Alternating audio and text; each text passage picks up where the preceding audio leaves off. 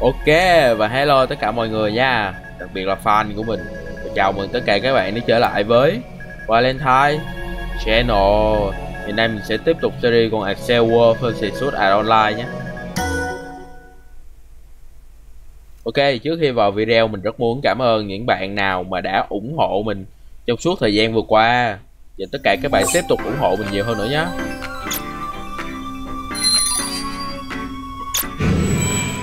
Ờ, ở chết. Mình đi sai rồi, đáng lẽ phải qua cái vương quốc kia. Thì tập trước là mình hạ được thằng Lục Vương. Thằng đó là cái thằng mà chuyên về phòng thủ luôn. Nó khá là khỏe. Bây giờ là mình đi đánh lại thằng Bạch Vương. Không phải, Bạch Vương hình như là nữ. Bạch Vương hình như là nữ.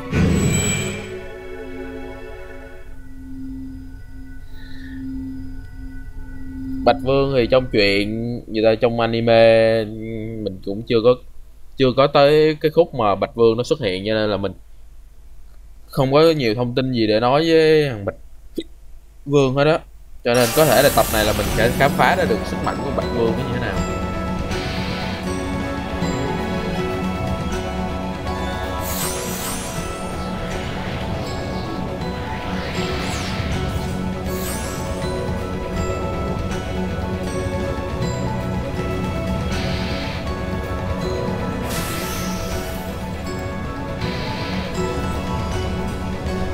Ok, bây giờ là mình phải đi kiếm một đi kiếm cái chỗ mà The Hall of Aito nữa.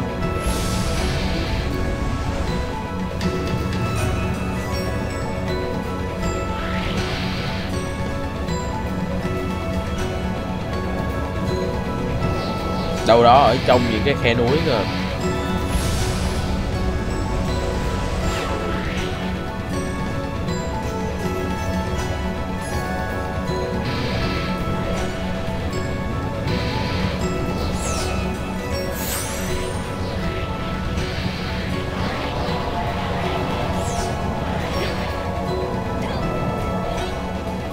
Cái khe núi như thế này nè. Ở đâu, đâu đó nó ở trong đây. Một cái khe kính rồi nhớ không? Phải là như mấy cái này. Khe này thì nó nhiều đường quá.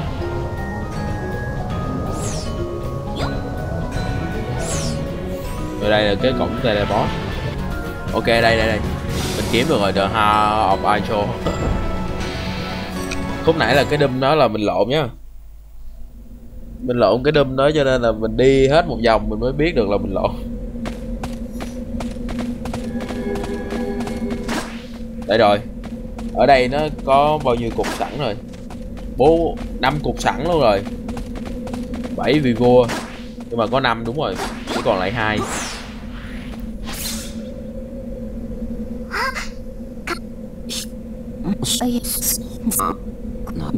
chắc là xong cái này nè mình mới được đẩy lên cái cái cung.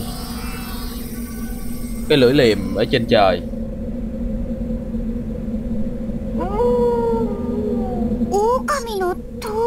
Có tiếng chó sói chu. Là boss boss chó sói à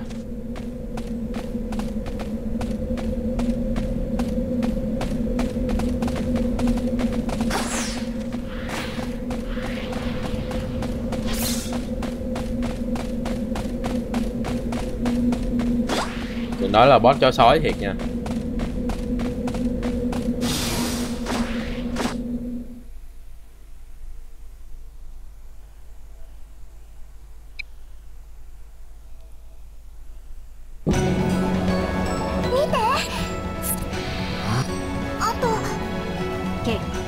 Con ran nó nhìn thấy cái gì ở trên trời? Ồ vậy là chắc là nó mở ra những cái tinh vân này á, thì mình có thể bay lên trên trời rồi. Bây giờ mình chỉ cần là bay lên cái vòng cung trăng bên kia thôi.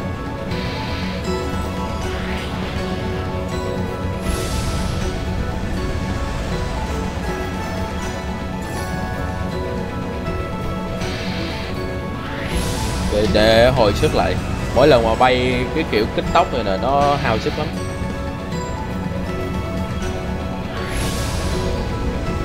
tới rồi.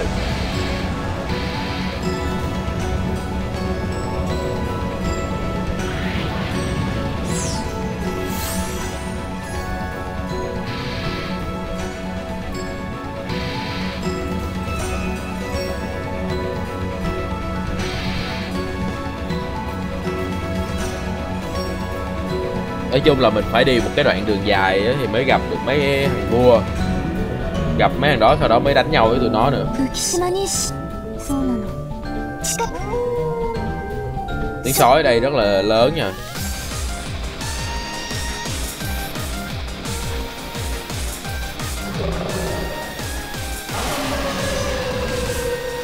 Chó sói trên mặt trăng.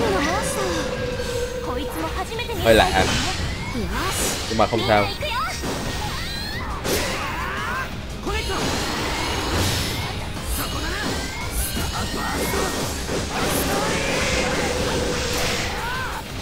Đùa. Con này nó to rồi nè, nhưng mà phải lợi sát đây thì đánh nó mới trúng được.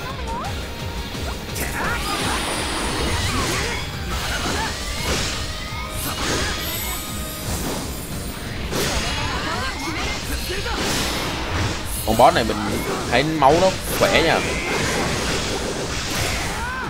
Mặc dù là Kirito của mình là rất là mạnh luôn rồi á, nhưng mà gây rất là ít đam. Với con này con này còn có khả năng choáng nó mỗi lần nó chu lên là mình bị choáng. Kỹ năng thấp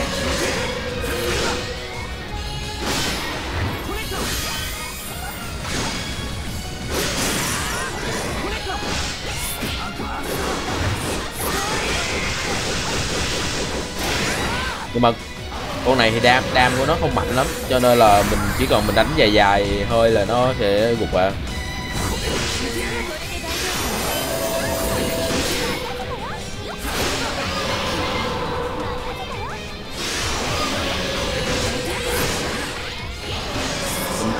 hình như là nó chu lên là mình bị phong ấn, là mình bị ngắt ngắt hẳn luôn cái nhịp tấn công.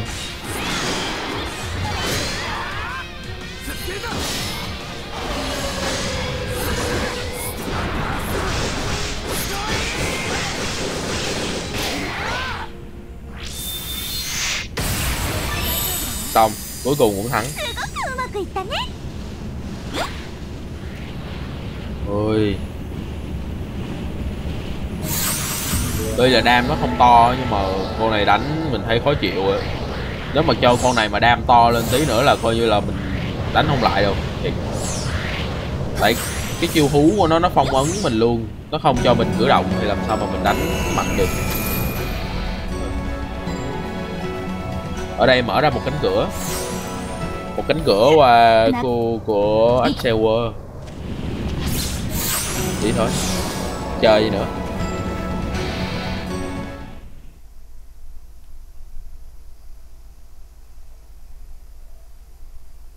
Bây giờ chắc là đánh với thằng bạch vương rồi. Đảm bảo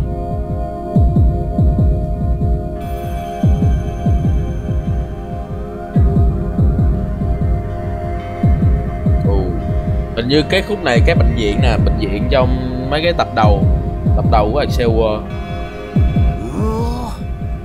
この葉をそうなんです暗いんすガチっつうのはよありが僕だ bỏ qua mấy khúc này đi nó nhớ nhiều lắm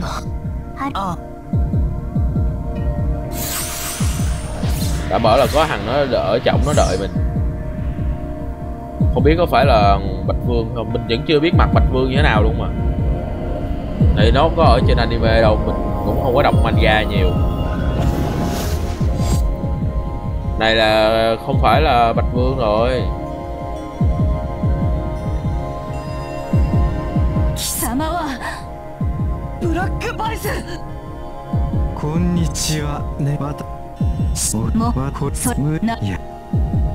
Như là à. này chắc nó cũng mạnh lắm trong mặt Sewer tại vì mình chưa trong mặt Sewer mình chưa thấy cái này bao giờ cả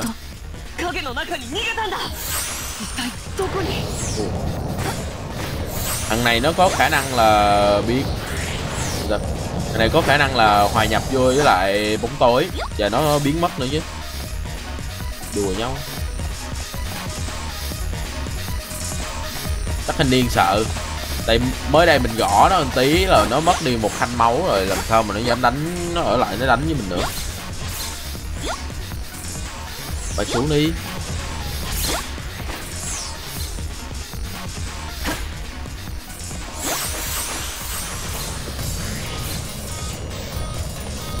Chỗ này rất là hẹp nha, rất là khó bay nha.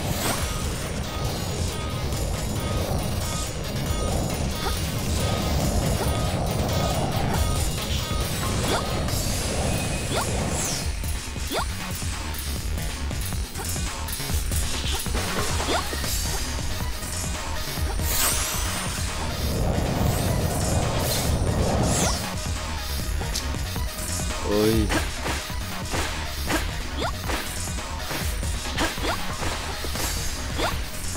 trong này có nó không ờ đây đây đây thấy rồi おっとこれは良くない lại biến mất 奴の最大の特徴は逃げ足だ地面の影に潜伏して自在に移動することができる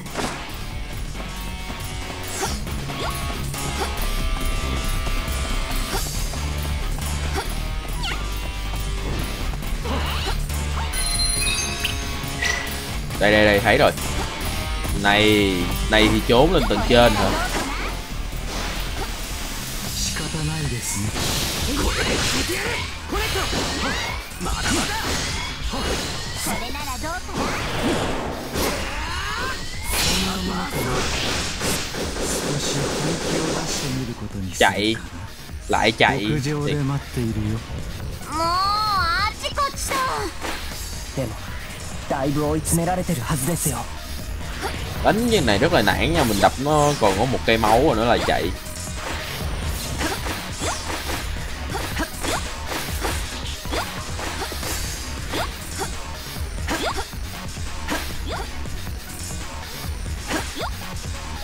ở trên đây có đường đi mà đúng không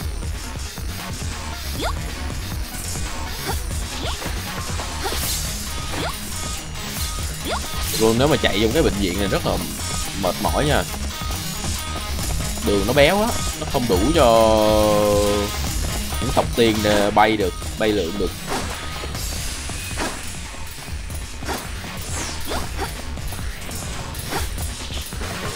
Ừ này quá nhát đi.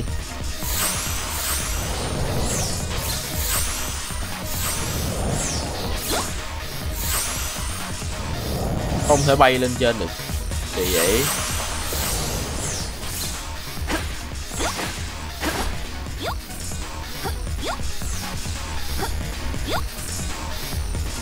Cái chỗ này là cái thang máy tầng 2 mình nghĩ nó ở trên sân thượng.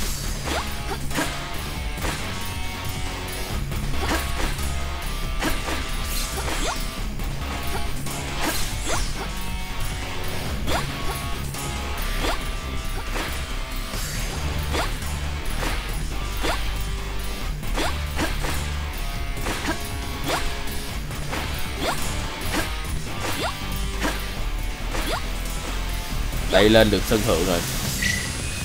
À thấy rồi. Hết chạy nha em.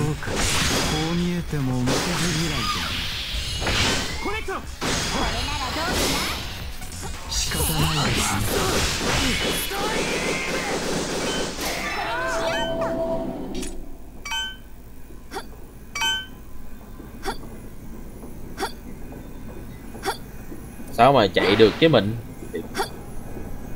gõ cho mấy phát là lên đường ngay.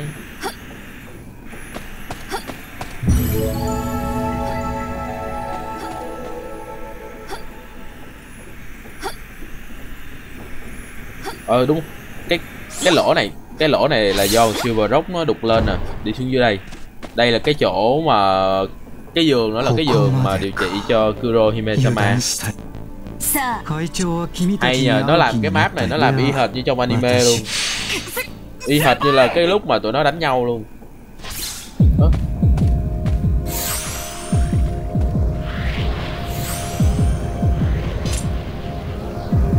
Hình như nó bắt con Kurohime Sama đi đâu á.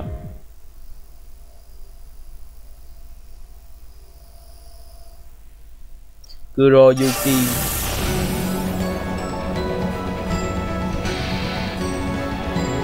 Chắc là lên khối cầu đó rồi. à đây chắc là bạch vương đây. Nói ra là bộ giáp của bạch vương mà nó chắc đây là nữ à? Ai da. Bạch vương là nữ. Vậy chắc là có tham vọng làm nữ hoàng cho nên là bộ giáp nó mới cấu tạo được thành cái ngôi vị như vậy. Ờ. Ờ. Để nói nhiều quá lên đánh nó thôi. Đánh nó là có được cái viên ấy rồi Viên ngọc màu trắng rồi.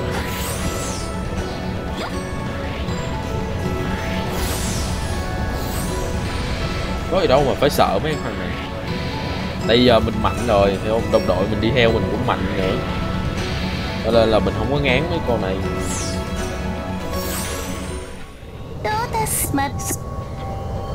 さらなび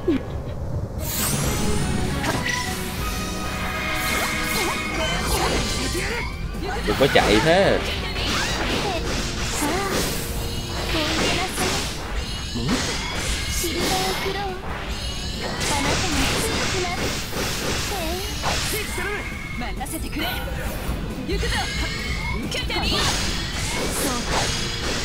すまんたとえ虚空の存在だとしても xong Quá nhanh quá nguy hiểm Ôi. À. Hay nha. Hóa ra là con Bạch Vương là nó có khả năng dạ. Nó gọi là phép thuật trí nhớ. Nó lưu nhớ hết tất cả các vị vương từng xuất hiện Là nó có thể gọi ra ảo ảnh y hình như vậy. nhưng mà mình mạnh ở chỗ hai đồng xích mà cho mình xích cái là mình đánh nó hết cây máu luôn. Lẹ nữa. Tội. Vừa ra chưa được bao nhiêu lâu.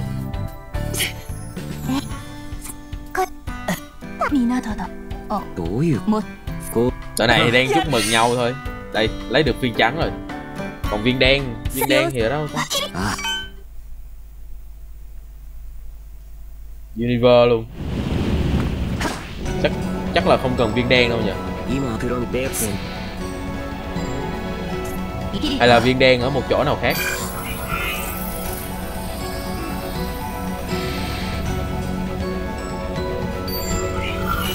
Nói chung là bây giờ mình mạnh rồi hiểu không? Boss gì ra vẫn hạ được hết. Kito level cao nữa cho nên là máu nhiều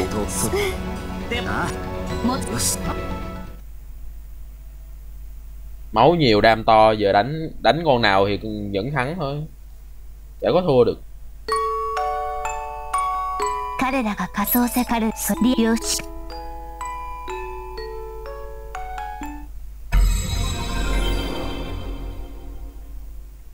Ok qua chap mới.